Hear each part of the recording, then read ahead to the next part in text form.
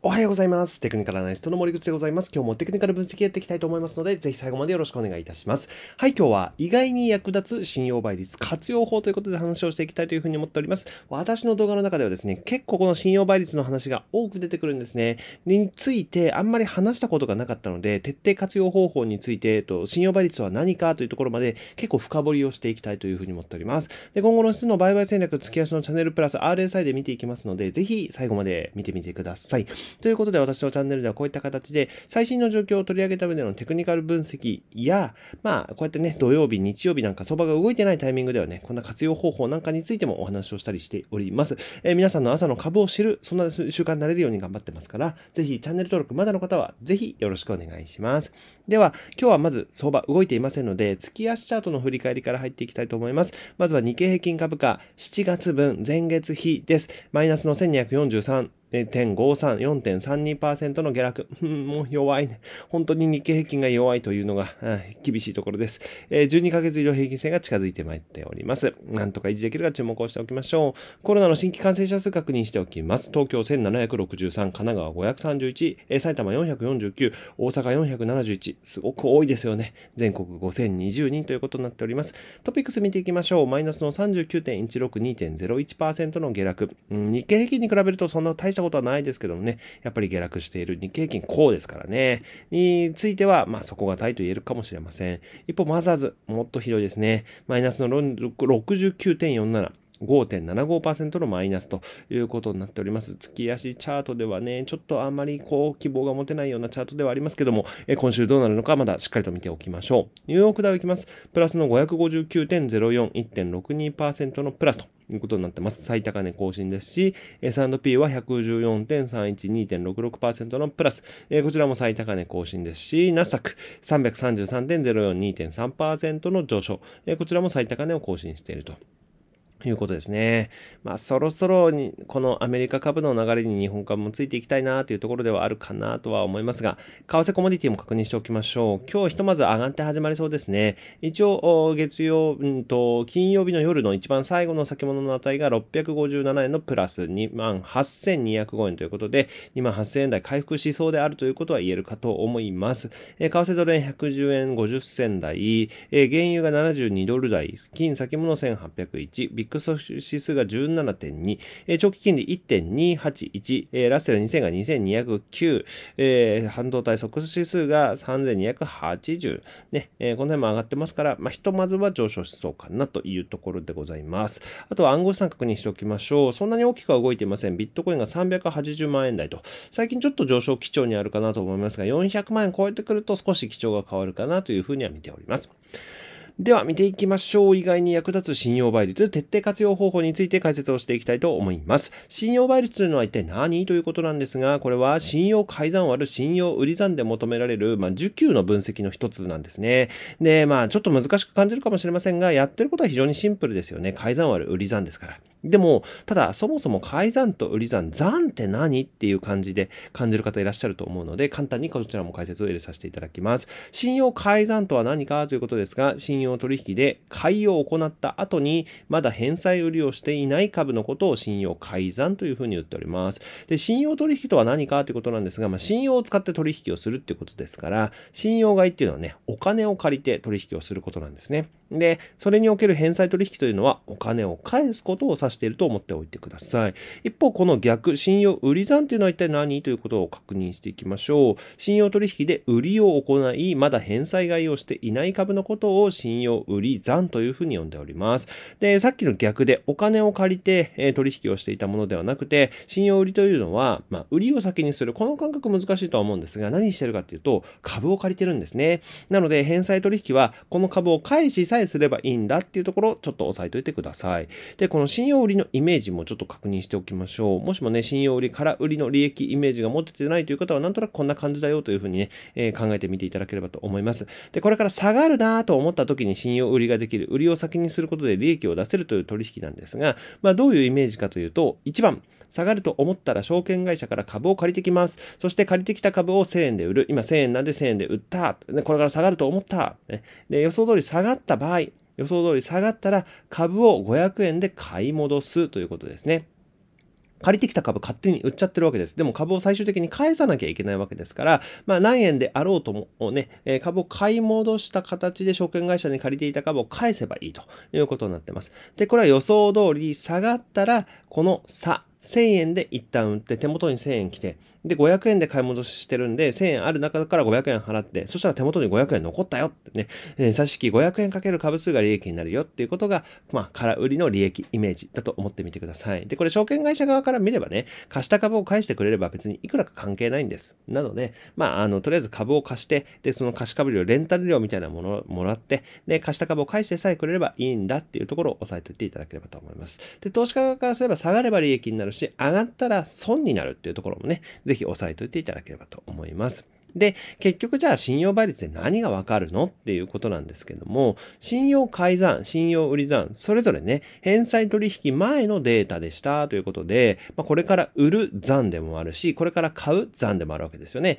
ということはですよ、信用改ざんというのは将来の下落要因になり得るということですし、信用売り算というのは将来の上昇要因になり得るということですね。これぜひ押さえておいてください。ここ若干ややこしいですけどもね、信用改ざんなのに将来売るんだから将来の下落要因。信用売り算なのに将来買うんだから将来の上昇要因。ここは押さえておいてください。で、この2つを割り算しているので、数字は大きいと売りが強くなるし、数字が小さいと買いが強くなるよね。で、目安は1倍だよねっていう感覚をぜひ掴んどいていただけるといいんじゃないかなと思います。ね、目安1倍。ね、1倍以上、どちらかというと売りが強い。1倍以下、どちらかというと買いが強い。まあ、ただこれ信用取引の中だけですから、現物取引含めるとね、最終的に総合的な需給によって株価は決まりますけど、一つのま参考データだと思ってみていただきたいなと思います。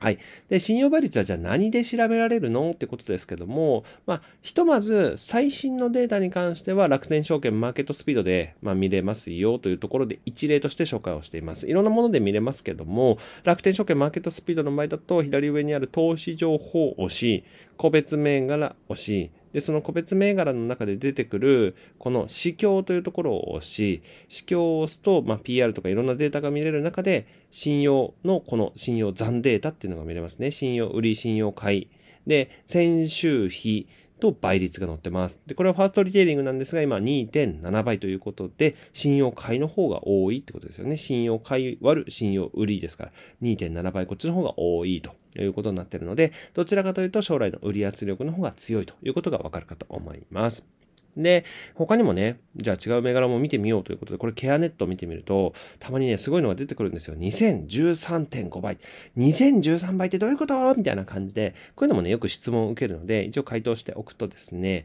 これはね、ポイントがいろいろあるんですね。信用倍率を見るポイントっていうのは、まず、貸借か信用かっていうのを見てください。で、あともう一つは時系列で見るっていう習慣も必ずつけといていただきたいんですね。さっき大きな違いは、ファーストリテイリング、ここに貸借、信用貸借区分、貸借って書いてあるに関わ、対して、ケアネットは、ね、信用って書いてありました。この違い何かっていうと、貸借銘柄と信用銘柄の違いというのは、制度信用売りができるかできないかの差になっています。うん、難しい言葉がいっぱい続いてきましたね。えこの辺はぜひ皆さんの中でも調べてみていただきたいんですが、信用取引の中には制度信用取引と一般信用取引というものに分かれていて、制度信用というのは公ルール、まあ一般的なルールだと思ってみてください。で、一般信用っていうのは、それぞれの証券会社で作っているルールだと思ってみてくださいね。で、えー、まあ、違いとしては期限6ヶ月、期限なしとか、逆皮膚あり、逆皮膚なしっていうのがあります。逆皮膚についてはこの後簡単に説明をさせていただきます。で、主にほとんどの投資家が使ってるのはこっち側なんですね。で、こっちでは買いと売りが両方もできるよという形なんですけども、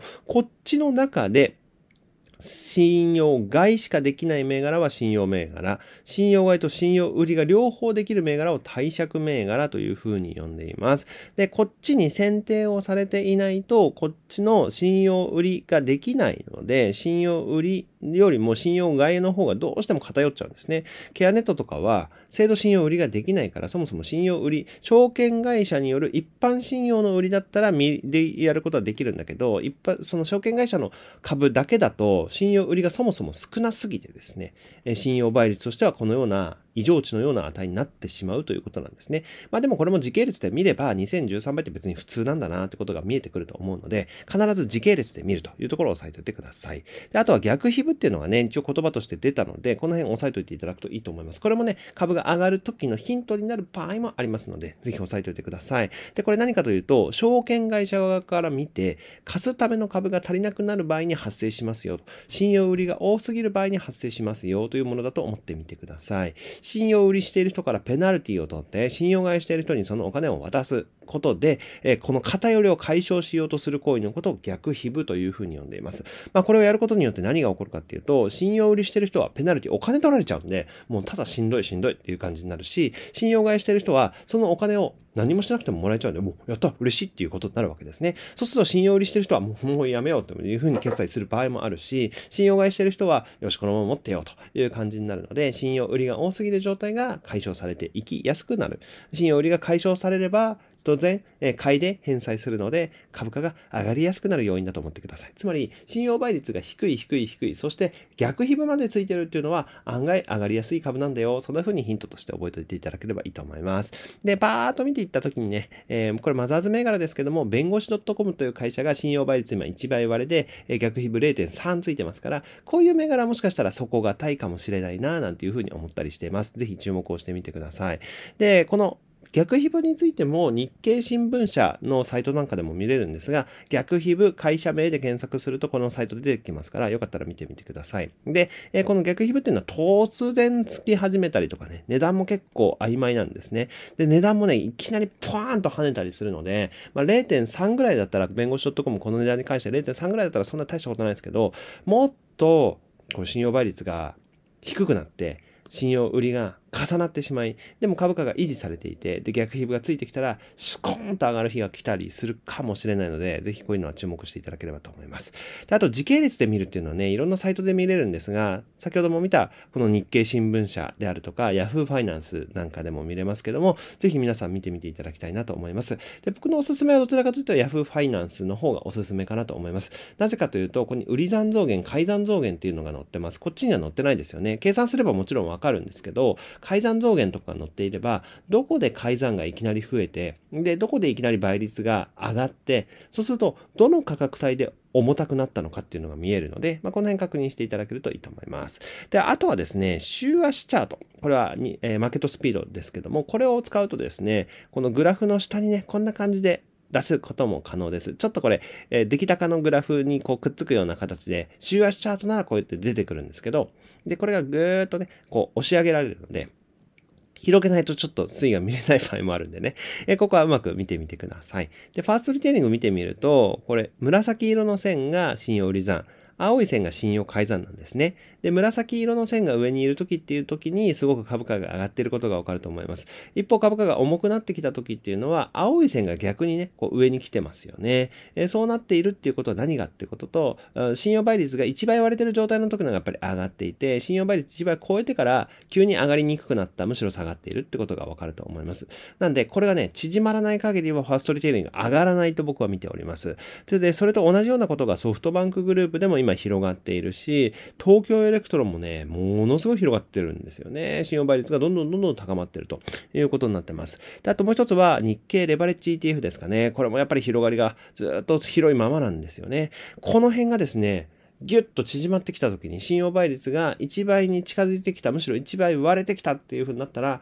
まあ、間違いなくとは言えないかな。あでも、受給状況はかなり改善され、非常に上がりやすくなってくると思いますから、このタイミングをぜひ見逃さないでほしい。今は上がりにくいけども、なぜ上がりにくいのか、受給の要因非常に大きいので、受給さえ改善されてくれば上がりやすくなるんだっていうことをぜひ押さえておいていただければと思います。ということで、2の動画のまとめです。信用倍率を覚えようということで、信用改ざん割る信用売り算の説明をさせていただきました。で、倍率が低いイコール将来の買い圧力が強いということですよね。これチャンスだというふうに考えてみてください。一番割れているかどうか、逆皮膚がついているかに注目をしていただくと、もしかしたらヒントになるかもしれません。で、貸借銘柄かもぜひ確認していただきたくて、時系列で確認することは必須だと思いますので、あの、単発で信用倍率が高い、低いに惑わされず、えー、時系列で必ず確認する。ね。で、もし異常値が出たら、おそらく貸借銘柄じゃない、信用銘柄の可能性がありますから、この辺は確認をしておいてていただければと思います。注目はファーストリー SBG、東京エレクトロン、日経レバ ETF、まあ、この辺の需給状況が非常に悪いっていうところが、今日ね、日経平均のパフォーマンスが異様に低いってことを見ていただきましたけども、これはやっぱりね、この影響力がすごく大きいところばっかりなんですよね。の需給が非常に悪いっていうのが日経平均の不調の要因だと思いますから、むしろこれが需給改善してきた、要は信用倍率が1倍に近づいてきたよ、むしろ逆日歩もつき始めたよなんてことが起これば、また再び上昇していく可能性すごく高まると思いますから、このデータはえ、毎週第2営業日の夕方5時にね、更新されていきますから、絶対見逃さないようにしていきましょうね。では、今後の質の売買戦略、月足のチャンネルプラス RSI で見ていきたいと思います。まずは日経平均株価、非常に長いチャートで見ています。えー、アベノミクス前安値、えー、コロナショック安値、リーマンショックの前の高値ということで取っております。結構チャンネル有効に効いてるかなと思うんですが、今、下落基調なので、12ヶ月移動平均線を維持できるか注目をしていきたいと思います。RSI は62.1650を維持できるか注目をしてみてください。下向きの間はちょっと厳しいかなと思っています。ちょっと足崩します。あ正座してたら足が痛くなってしまいました。トピックス見ていきます。トピックスがですね、このような形でチャンネルなんですけど、日経平均とちょっと似ていて、下がってきちゃっているので、12ヶ月移動平均線を超えるか超えるか維持できるかですね、になってます。61.77、えー、上向きになれるか RSI ね、えー、見てみてください。マザーズ見ていきましょう。マザーズはですね、この下降チャンネルライン、ここを維持できるかがひとまずポイントになってくるかなと思うんですが、意外にこの辺から効いてるんですよね。この辺で取ってるものなんですけども、この辺も効いてるのは角度的には生きてるのかな、なんていうふうに思ってます。で、50が近づいてきました。54.2なんで、50を維持できるかどうか注目をしたいなと思っています。一方で、ニューヨークダウ、こんな感じですね。これはもっと長いチャート。リーマンショック安値、ロナショック安値、IT バブル高値を取ってますが、この上限をね、突破してるんですよね。今後はサポートなるかどうかに注目をしていきたいなと思います。まだ月足だとね、確定してませんから、今週分も見て確認していきたいと思います。で、RSI は71.57、75で上向きになっているので、強い証拠だと思っております。S&P 見ていきましょう。これ上限を突破するかどうかのね、セット際にいるかなと思います。突破してくるかどうか、S&P 強いですからね。で、RSI は76.75、上向きですので、まだ期待できるかなというふうに思います。一方で、ナスダック。ナスダックもね、上限を突破してきてるんで強いんですけども、79.69まで上がってきました。85円ってめったにないので、さすがにやっぱり加熱感は意識され始めるかなというふうに見ております。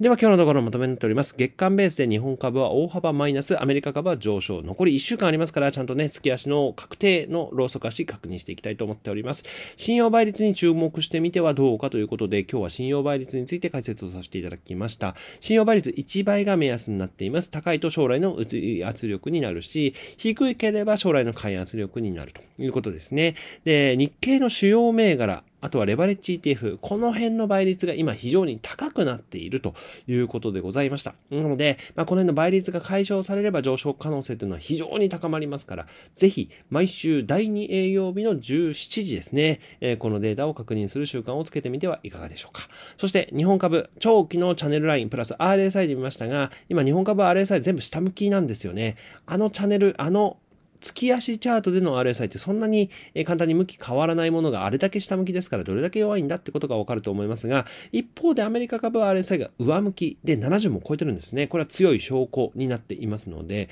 もうこれだけ差があるということはひとまず、えー、事実として認め、えー、そして50からまた上がってくるようであれば、日本株もね、上昇してくる可能性がありますから、この辺も合わせて注目をしていきましょう。では、今日もお知らせを1個入れさせてください。個別銘柄をとことん分析するマガジン配信中でございます。毎週ノートで1記事、え金曜日に上げているものになっています。で、今週分はついにですね、このレーザーテックを分析してみようかなというふうに思っております。まあ、この半導体業界のね、もうなんていうんですかね、もうひたすら今目立ってますよね。なぜこんなに評価されるのかっていうのをね、え分解してみたいと思ってます。月額1000円初月無料になっております。そして、今日の夜ですね、イベントをやっていきます。私、ノートの中のオンラインイベントに登壇することになってますので、ぜひ皆さん、お時間ああれば、え26日月曜日、今日の夜8時からオンライン開催になりますので、え概要欄リンクの方からチェックしてみてください。無料で参加できますので、よかったら確認してみていただければ嬉しいです。ということで、今日はこんな感じで終わっていきたいというふうに思っております。今日ね、ベッドルームからお届けしておりますが、ずっと正座してたんで、足が痛くなってまいりました。そして、え4連休明けの日経平均株価、ひとまずはプラスススタートで始まりそうですが、どうなるのかね。まだ月末要因とかもまた絡んできますので、えー、しっかりとお届けしていきたいというふうに思っております。今日の中でも何か参考になればグッドボタンの方、また明日以降もね、最新のテクニカル分析をお届けしていきたいと思ってますから、皆さんのね、朝の習慣になれるように頑張っていきます。えー、ぜひ、チャンネル登録まだの方はぜひ、ポチッとよろしくお願いいたします。ではまた明日、テクニカル分析でお会いしましょう。さよなら。